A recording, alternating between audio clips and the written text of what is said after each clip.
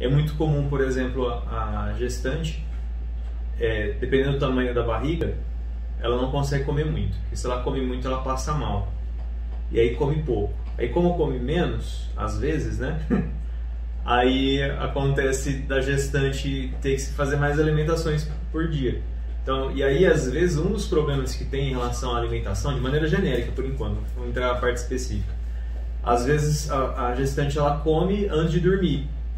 E aí ela vai dormir de barriga cheia e aí a hora que ela come é onde que produz mais ácido para poder fazer digestão e é a hora que dá mais o refluxo, né?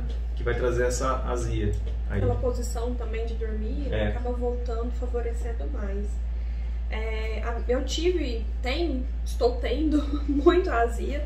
A minha começou mais pro final agora da gestação, no oitavo, final do sétimo mês, oitavo mês que começou. E aí a gente começou percebendo assim, né? Isso aí às vezes dava uma dorzinha na garganta. É, e aí a barriga foi aumentando de tamanho, Gabriel foi crescendo e aí minha azia só cada dia ela aumenta um pouquinho mais.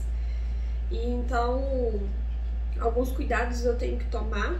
Por exemplo, que a gente adotou assim de início foi a almofada anti-refluxo, né? Então, às vezes, por exemplo, após o almoço, que é essa aqui, ela tem uma rampinha. Acabou a live. Só tem a almofada agora na live. ela faz uma rampinha, então eu coloco e dependendo do nível eu posso deitar, ficar mais deitada assim, né? Então eu fico um pouco reclinada, né? Ou então eu coloco ela assim, porque eu fico literalmente encostada. E aí, pra não encostar na parede, ou na cabeceira da cama que é mais dura ou gelada. Então eu também coloco nessa posição. Só que assim eu fico extremamente reta, né? Aí não dá pra dormir. Então, por exemplo, para eu dormir à noite, eu evito de fazer refeição próximo ao horário de dormir, horário da noite. Mas após o almoço, que dá muito sono e aí eu tenho que voltar a trabalhar, então geralmente eu costumo deitar aqui. Ai, deu soninho. Deu sono só de ver o travesseiro Ai, Às vezes eu costumo deitar aqui e tirar um cochilo nessa posiçãozinha aqui. Porque aí fica reclinado e evita de voltar é, o conteúdo do estômago do almoço. É. Bom, Melhora bastante. Essa foi uma opção que a gente é, encontrou para poder combater um pouco da azia, mas assim, é uma opção mais cara. E aí o que a gente pode fazer de mais barato? Então, opção 1, um, né? então travesseiro. Opção 2, pegar mais travesseiro um volume maior de travesseiro. Pega do pra... marido, deixa o marido é... sem. não, pega não, compra mais, ou pega almofada, sei lá. Para ficar mais reclinada. E aí ela fica mais alta. Não é só a cabeça, tá? Senão ela vai dormir com a cabeça assim, é. ó. Então coloca o, tronco. O tronco tem que pegar aqui, né? O estômago. Eu tô de preto hoje, não tá dando pra ver. Então pega mais essa parte aqui, né?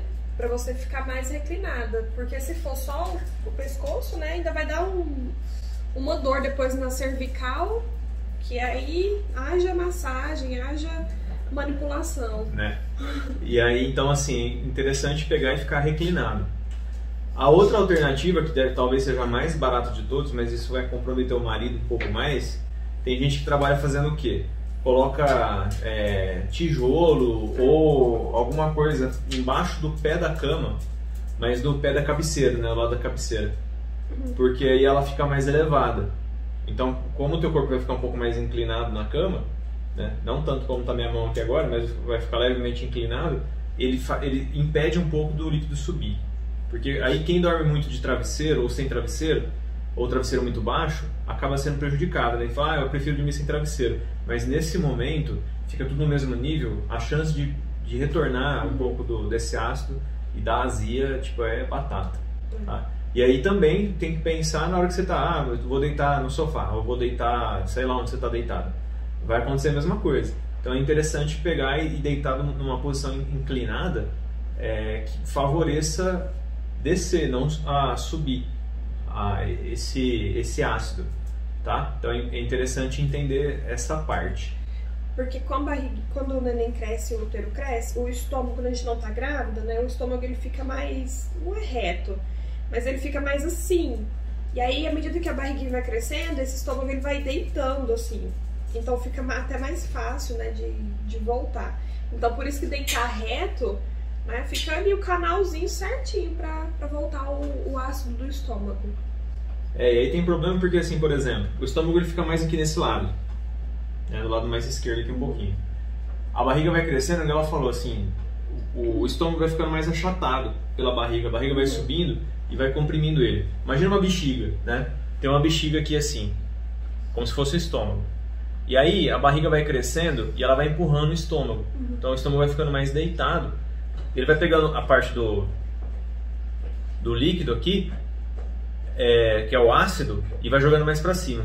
E aí o pior, que a barriga vai crescendo cada vez mais, vai empurrando cada vez mais. Então a chance de aumentando essa azia, né, ou refluxo, acaba sendo maior ao longo do tempo, que é normal. Aí o tempo de passar é na hora que que vai diminuindo a, a barriga depois quando nasce o bebê, né?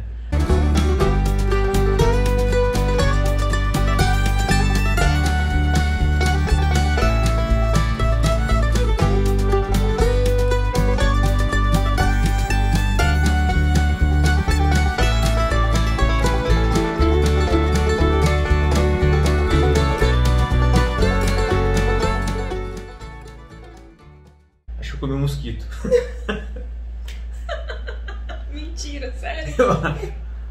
Acontece. Essas lives acontecem de tudo aqui. Ai. É proteína. É.